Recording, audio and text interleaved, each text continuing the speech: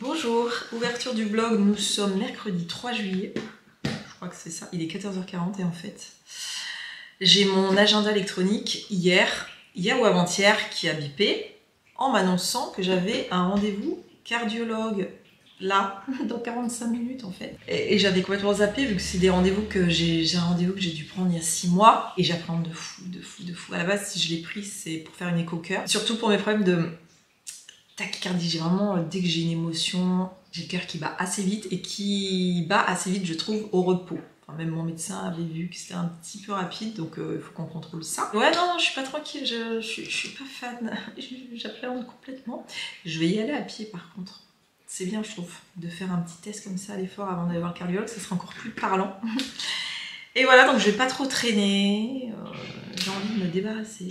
Si tout est bien, je propose à Eric d'aller manger au resto Je m'engage.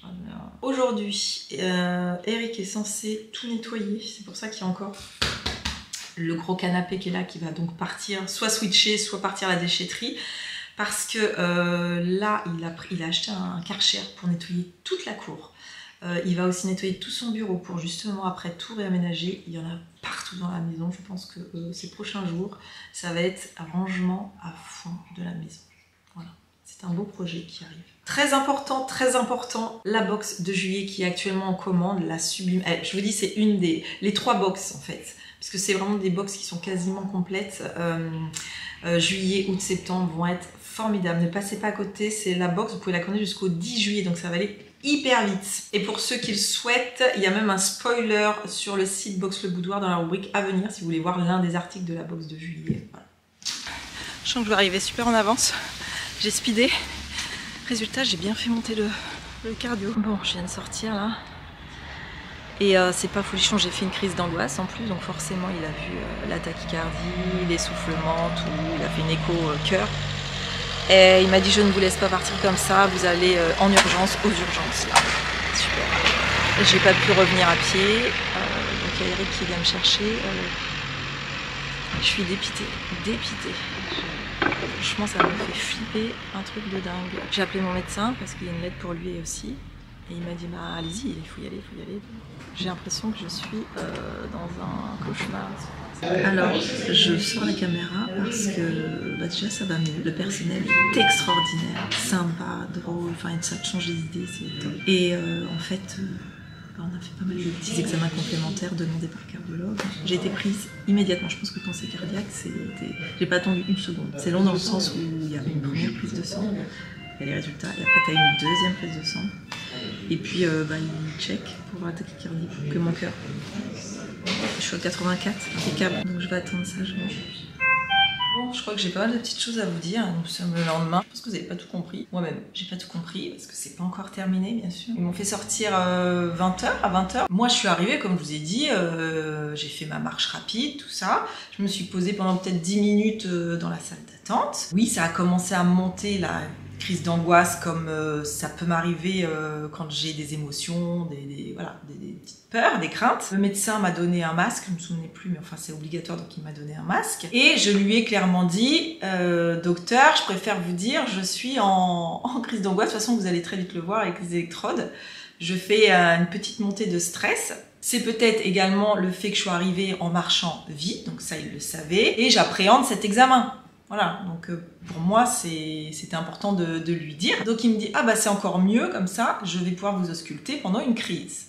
Ok. Il me place euh, les petites électrodes pour faire euh, son électrocardiogramme et là il fait oui effectivement vous êtes en, vraiment en crise. Je fais oui oui mais ça va se calmer, j'ai l'habitude et puis je vous redis je suis arrivée en marchant, j'appréhende. Je voyais que il y avait quelque chose quand même qui le faisait tiquer, euh, que j'étais à 129. Voilà, 129. Et en plus, franchement, quand t'as un masque et que t'es en crise d'angoisse, t'hyperventiles. Hein. Il voit que ma crise se calme pas. Enfin, j'étais pas en crise comme ça, j'étais juste en crise de palpitation. Je respirais vite. Il me dit attendez, euh, je vous donne de l'eau. Il m'a donné un verre d'eau. Après, on est passé à l'éco-cœur. L'éco-cœur, ça, ça me faisait un peu plus flipper parce que j'avais jamais passé d'échographie du cœur. Euh, euh, de toute ma vie. L'éco-cœur ne révèle rien de particulier, tout est correct, donc ça c'est déjà une très bonne chose. Donc l'examen se termine, il me dit vous pouvez retirer votre masque, il voyait que bah, c'était pas évident avec un masque quand tu fais une petite crise d'angoisse, même si euh, la crise était calmée, oui et non, parce que je voyais l'inquiétude du monsieur. Donc plus je voyais son inquiétude, plus euh, bah, j'étais pas détendue. Jusqu'au moment où il me dit, écoutez, euh, moi je ne vous laisse pas partir. Je dis, comment ça vous me laissez pas partir? Il me dit, non, non, pour moi, vous êtes trop essoufflé. Je dis, je suis pas essoufflée, je, suis un petit peu en hyperventilation due à la, crise d'angoisse. Il me dit non, puis 129, 129 au repos, c'est beaucoup trop, ce que je peux comprendre. Hein. Pour repos, c'est euh, en dessous de 100. Il ne veut pas me laisser partir. Euh, donc, je dois appeler Eric pour qu'il vienne me chercher. Parce que, ah oui, Eric vient me chercher. Donc, j'attends sur mon petit muret, ça vous l'avez peut-être vu, euh, j'étais déconfite, j'étais qu'est-ce que c'est? Parce qu'en gros, voilà, pour vous faire clair, il avait peur que je, fasse un infarctus ou que je fasse pulmonaire, une. je ne sais plus. Bref. Eric arrive, je vois qu'il est un petit peu inquiet, mais je vois également qu'il euh, y a un truc qui est pas clair chez Eric. Il y a un truc qui ne va pas, je le connais. Je lui dis ça va, il, je dis regarde-moi, il veut pas me regarder. Je lui dis enlève tes lunettes. Et là, l'œil tout rouge. Je dis qu'est-ce qu'il y a? Il dit bah vous savez, je vous ai dit quand je suis partie, il allait commencer le karcher. Cet imbécile, il a fait du karcher sans lunettes. Il y a un éclat de cailloux qui était dans son œil. Ah, les cassos, tous les deux. Donc qu'est-ce que je fais? J'arrive, parce que moi je, commence à être plus inquiète pour lui que pour moi. J'arrive aux urgences, je me présente, je dis voilà, je viens à la suite du cardiologue, euh, il veut être vu, mais par contre j'ai mon compagnon qui est juste là et je suis très inquiète. Euh, il vient de me dire qu'il a un éclat dans l'œil, ils ont été formidables. Direct, euh, on, appelle aux urgences ophtalmiques, il a été pris en charge, donc il n'y avait pas, c'est reparti le petit bout.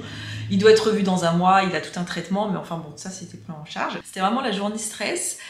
Et en fait, donc ils m'ont laissé repartir parce que déjà, euh, toutes mes prises de sang, les dédimères, donc les marqueurs cardiaques, impeccables. Mais c'était énorme parce que les aides-soignants, les infirmières, donc ils passaient comme ça devant moi, ils regardaient.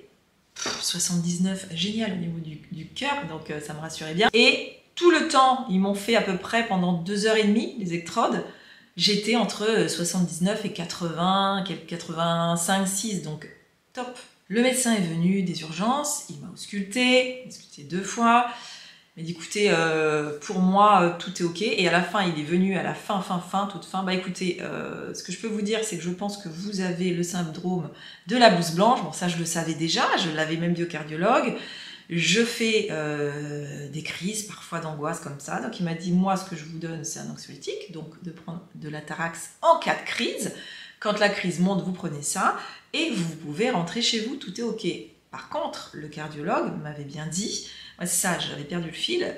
Au moment où il m'a dit il faut partir immédiatement d'urgence, il m'a dit de toute façon, même si au niveau des urgences ils vous euh, disent de, de retourner chez vous, je veux absolument, vous m'entendez bien, je veux absolument vous voir dès demain, donc aujourd'hui avec tous les résultats. Il veut de nouveau me voir pour d'autres choses, je pense. On en est là, il est 11h29.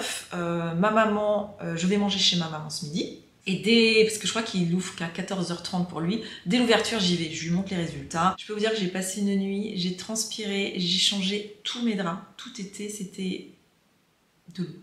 De l'eau. Toutes mes housses de couette, mon oreiller. Euh, j'ai bu de la flotte tellement j'ai perdu euh, des sels minéraux. J'ai tout mon système nerveux là qui a été tellement bousculé que bah, voilà. j'ai transpiré comme une tarée et euh, je suis épuisée. Et j'espère qu'à part recommencer hein, quand je vais le voir tout à l'heure que je vais pas me refaire une crise. Bon bref. On en est là les amis, on en est là, un simple rendez-vous.